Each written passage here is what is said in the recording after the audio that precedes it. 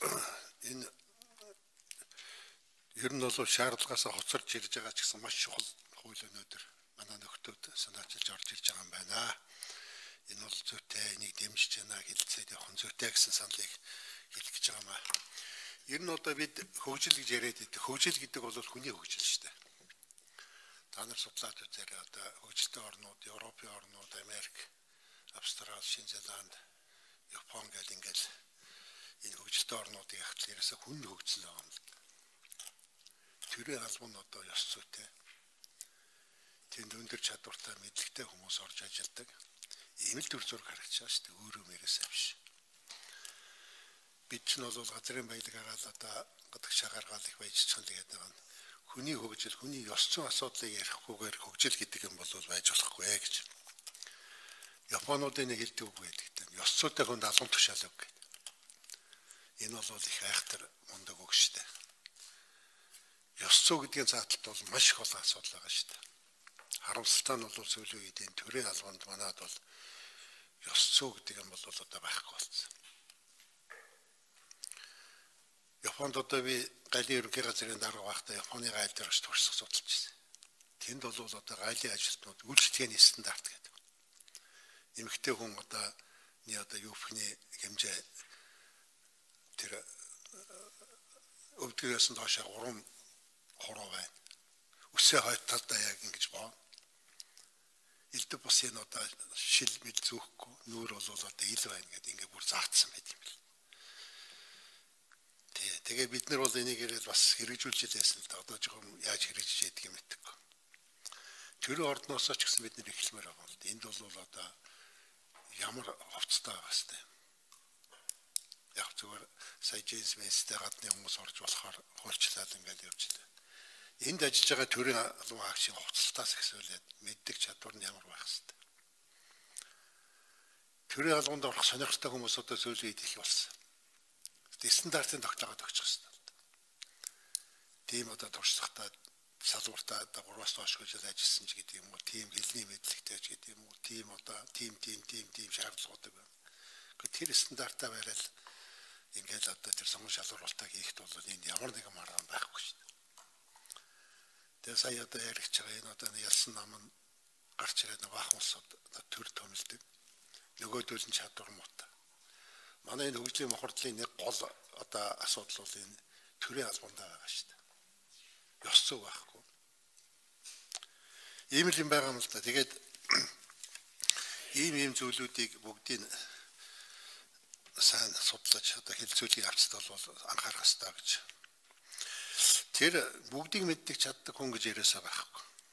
Тийм учраас төрийн албан хаагч бол ёс зүйтэй байхаас гадна энэ ажил дээр өсөж мэрэгчих энэ боломжийг нь олох хэрэгтэй. Нэг хэрэг хийх дүрм гэж байгаа юм л да. Албан тушаал ахих журмыг одоо их тодорхой болгож явах хэрэгтэй. Ийм ийм шаардлагуудыг одоо хангах юм бол албан тушаал ахина гэдэг Тэгэх юм бол ямар нэгэн маргаан байхгүй, хардлага байхгүй болно. Ёс зүй алдаа гаргасан бол тэр хүн өөрөө огцордог. Энэ юм маш тодорхой болгож өг. Ийм шаардлага бол одоо байна гэх. За 2 3 асуулт байна. За ёс зүйн хороо гэдээ байгуулах юм байна л да. Энэ төрийн албаныхаа зөвлөлтөд одоо хэр зэрэг нээцэж байгаа юм бол да энэ одоо төрийн албаны зөвлөлийн дарга нь ёс зүйн хорооны одоо гишүүн байна гэж байгаа. Тэгээд их хурлаас тэр төрийн албаны зөвлөлт шүүхийн ерөнхий зөвлөлийн тэр гэдэг шиг одоо ёс зүйн хороо гэж одоо байгуулах юм байна л. За Баттамөр гүшүүн 1 минут нэмээд өгөөрэй.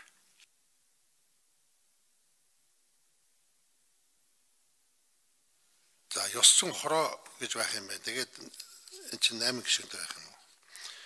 Тий. Тэгээд ёс зүйн төрийн албаны дарга ёс зүйн хорооны гэсэн төрийн албаны зөвлөлийн дэргэд байгуулна гэд ёс зүйн хороо одоо төрийн албаны зөвлөлийн дарга нь хамрагдаад явхаар энэ хэр зэрэг оновчтой юм бол нөгөө ажил албыг давхардуулж хийхгүй давхардуулж цалингоос авахгүй за цалингоос ч авахгүй байж болох байх. Эднэртэйгээ хэр зэрэг нийцж байгаа юм бол доо. Тэгээд төрийн албаны зөвлөлийн дэргэд байгуулах мөртлөө энэ их хурл тэр зарим бичих баримтуудыг батлна гэсэн юм заалт явж байгаа. Энэ тэр хэр зэрэг нийцтэй юм бол доо гэсэн юм юм байна. Хоёр дахь асуудал одоо төрийн албаны энэ бус орнуудын туршлагаас яаж судлав? Ямар ямар улсуудын туршлагыг судлав? Яав? Ямар авмаар юмнууд байна? Манай орны нөхцөлд одоо тохирсон ийм юмнууд одоо юу байх? Энийг яаж энэ хуулиндаа тусгасан бэ гэсэн ийм асуултуудад хариулт. За Монгол төшөөний микрофоныг нээж өгөөрэй. Асуу Баттамөр гişүүний асуултанд хариулъя. За Баттамөр гişүүн маань энэ уялдаа холбооны хэр оновчтой зохицуулт байгаа вэ гэдэг талаар бас асууж байна тийм ээ. Энэ маш зөв асуулт байгаа. Бид нар анх энэ хуулийн төслийг хийхдээ энэ ёс зүйн хороог бол ер нь төрийн албаны зөвлөлтөд дүүцхүүс байдлаар бие даасан байдалтайгаар хийя гэж ингэж одоо хуулийн төсөл төр боловсруулсан. Тэгээ яг өргөн барихын үед бас зөвлөлдөж байгаад за төрийн албаны зөвлөл гэдэг нэг байгууллага байна. Дахиад улсын үндэсний хэмжээний ёс зүйн хороо гэдэг ингээд бас нэг байгууллага ингээд энэ хоёр нь одоо хоорондоо хэр уялдах уу хэр зөрчилдөх үү гэдэг асуудал яригдж байгаа. Ер нь төрийн албаныхаа зөвлөлийнхөө дэргэд ёс зүйн хороотой байя. Хоёр толгойтой, гурван толгойтой биш, нэг толгойтой бай. Гэхдээ энэ бүхнээ ингээд э, төрийн албаны зөвлөл, за зөвлөл хажуудаа том ёс зүйн хороотой. За ёс зүйн хороо нь улсын хэмжээнд байгаа энэ ёс зүйн зөвлөлүүдээ нэгцэн удирдлагаар хангадаг юм бай гэд. Тэгээд таны саяны идэр ярьж байгаа төрийн албаны зөвлөлийн дарга ёсцсон хорооны бүрэлдэхүүнд орно гэдэг энэ дээрээ бид нар нөгөө жоохон техникийн алдаа гараад юу засвараа хийгээгүй өргөн барьсан байна лээ. Тэгэхээр энэ бол ажлын хэсэг байгуулагдаад явах дээр энэ зүйлүүдээ энэ уялдаа холбоо оновчтой зохицуулт энэ бүх зүйлүүдээ зохицуулчих юм. Нэгдүгürt бол. За хоёрдугаарт бол ер нь Одоо бол төрийн албаны зөвлөл улсын их хурл төрийн байгуулалтын байнгын хорооны үндсэн чигүүргийн хүрээнд харьяалагдж явж байгаа. Тэгэхээр 2020 оны одоо улсын их хурлаараа байгуулагдсан парламент бол энэ ёс зүйн асуудлыг чухалчилж ёс зүйн байнгын хороотой цахилгаан хариуцлагын байнгын хороотой болоод ингэж ажиллаж байгаа. За энэ хүрээнд бол энэ одоо бас төрийн албаны энэ ёс зүйн асуудлыг бол бас зөвхөн төрийн албан төрийн байгуулалтын байнгын ороо биш ёс зүйн байнгын ороо бас хариуцах. За юу гэдгийг зөвхөн одоо ёс зүйн хороон дээрээ журам батлаад ингээд яваад байвал нэг тухайн байгууллагын л юм уу нэг тийм хэмжээний юм болох болов гэж бодож байгаа бид нар. Тийм учраас улсын их хурлаас энэ журам дүрмийг нь баталж өгдөг. Энд нь бас тодорхой хэмжээний хяналт юмыг нь тавьдаг ийм байвал бас хариуцлагын хувьд хяналтын хувьд ч гэсэн өндөр түвшинд байх юм болов Улсын их хурл гэдэг бол өөрөө 4 жилээр шинчлэгдэж байгаа шүү дээ. Ард түмний төлөөллийн байгууллага учраас ийм байх нь зөв болоо гэсэн ийм зохицуултыг хийсэн. Тэгэхээр тэр таны ярьж байгаа та бол маш зүйтэй бол сайн олж харсан байна. Тэгэхээр энэ зүйлийг бол бид нар ажлын хэсэг дээрээ зохицуулаад явъя гэсэн ийм зүйлтэй байгаа шүү. За ер нь зүгээр дэлхий дээр энэ ёс зүйгээр кодлогдсон хэдхэн улс байгаа. Ёс зүйн хуультай, ёс зүйн кодтой. Жишээлбэл бид нар одоо дэлхийн нийт дээр одоо энэ ёс зүйн жишг жишээ улсыг бол Японоор л бид нар бас ярих дуртай шүү дээ. Сая таач гэсэн бас сая э, дурдж явах шиг байна. Тэгэхээр эдгээр улс бол одоо бүгдээр ёс зүйн код бол ёс зүйн хуультай бие даасан. Тэгээ энэ хуулийнхаа хүрээнд энэ асуудал нь төрийн албаных нь ёс зүй сахилга хариуцлагын асуудал зохицуулагдж явж байгаа. Тэр улс төржилт энэ төр ч гэдэг юм уу одоо жишээлбэл төрийн албан хаагч ажилдаа хаанга алдсан одоо бусад асуудал нь бол төрийн албаны хуулиараа зохицуулагдана.